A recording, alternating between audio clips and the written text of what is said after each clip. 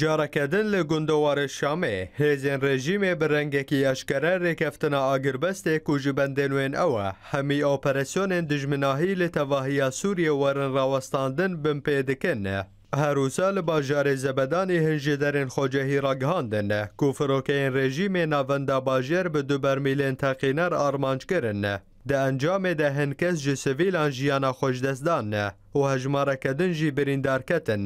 لناوچەیە چیایە ڕۆژەلاتی باژارێ زەبەدانیژی هاتە ڕاگەاندنە کو ڕێبندێن ڕێژیمێ بە تۆپ و چەکەنگیران مالێن سڤیلان ئارمانج دکردنە و ji berveyekê sivîlên navçeyê nikarin derkevin dervey malên xwe û pêwistiyên xwe peyda bikinne. Di heman demê de li bajarê Dmêrjiyê ku dikeve rojhelatî Şamê de hinçalekvanan ragihandine, ku şer di navvera artêşa azad û hêzên girêdayî rêxistena Daişê de nû dibe.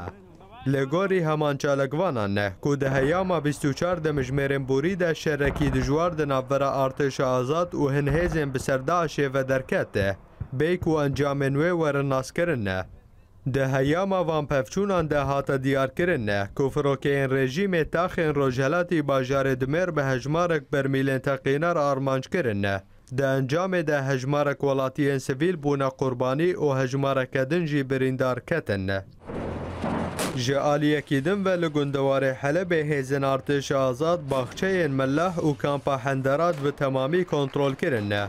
لگاری هنجه درین لشکری این ارتش آزاد کودش وابوری ده. هیزن و اپریسیونک بچک انگران لدیجی خالن رژیم لباکور حلب پیکانین. او حات زانین کو پشتی پفچونان هیزن ارتش آزاد کاری بون باخچه این ملح و هندرات کو نافچه اک استراتیجی کنترل بکنه.